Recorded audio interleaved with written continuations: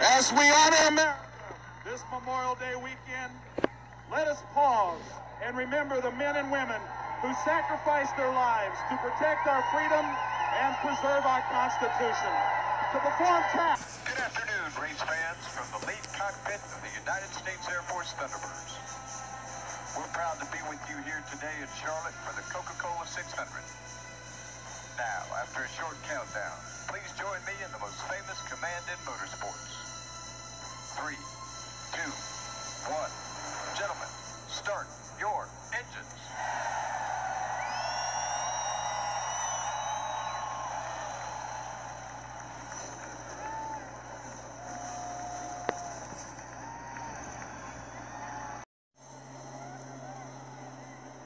The engines have fired along pit road.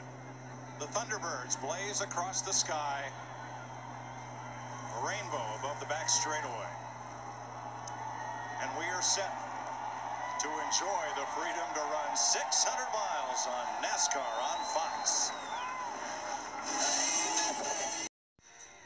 Take a look further back where some of those Roush cars will start that have been so dominant here in recent years. There's Kenseth, the point leader in 18th, and Mark Martin, last year's winner of this race. Dale Jr., who wants to take that point lead for the first. Here's Mike Wallace. Talk with Jay Frye today, their team manager, and he's had several conversations with Jerry Nadeau. Nadeau's been calling him on the cell phone. How's the car going? How are we doing?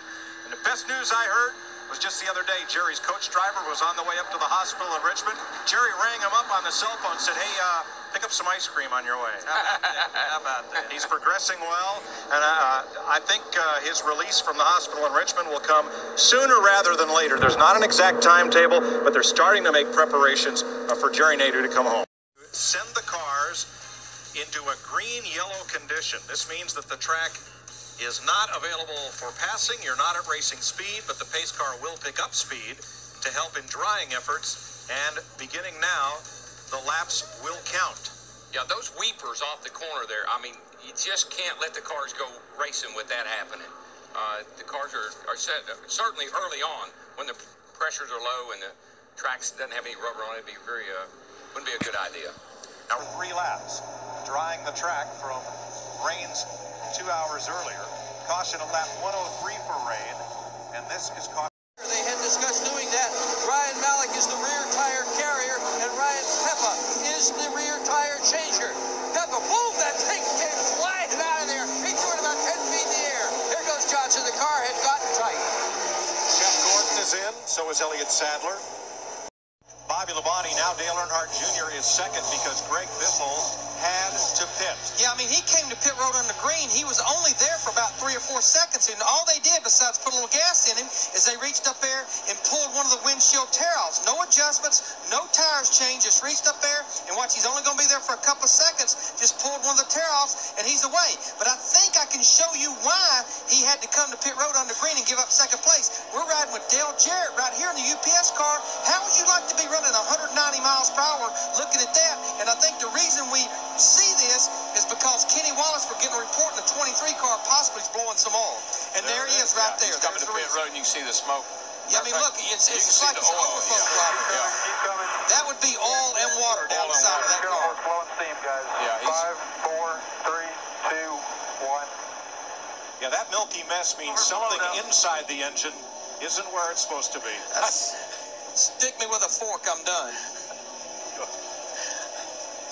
Steve Byrnes.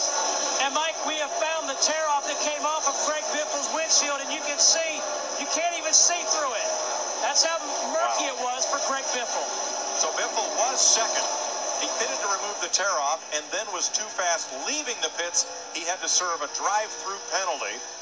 And now he has dropped to 17th place. Yeah, and it doesn't matter what kind of shield you've got or anything else. Uh, you're not going to see through that right there. That's what the drivers are looking. Yeah, somebody's up against a wall down there. I can't tell who it is. He can't get to pit road. It's Kurt Busch, the 97 car. And he can't get to pit road. He's going to cut across the grass, so we stay green, no caution. But Busch will go at 39, least a 39, down. 39. Thank you. Matt? He can't. He, congratulations, Coke 600 winner. I can't believe we did this here at uh, Lowe's Motor Speedway in Lowe's Monte Carlo. We knew we were going to have a a great race car again, but coming from the back, uh, we didn't. right here. He's the master of this place. we didn't know what was going to happen, and I, I'm just so proud of this entire race team, everybody at Hendrick Motorsports. Uh, we, we've been able to have, count on our great pit stops. The last two had us